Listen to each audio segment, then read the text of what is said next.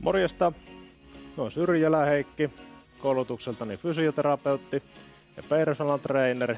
Kuusamosta on alun perin kotoisin. Minun valmennukseen voit tulla, mikäli haluat lisää voimaa ja lihasmassaa, tai haluat sitä rasvamassaa vähemmäksi.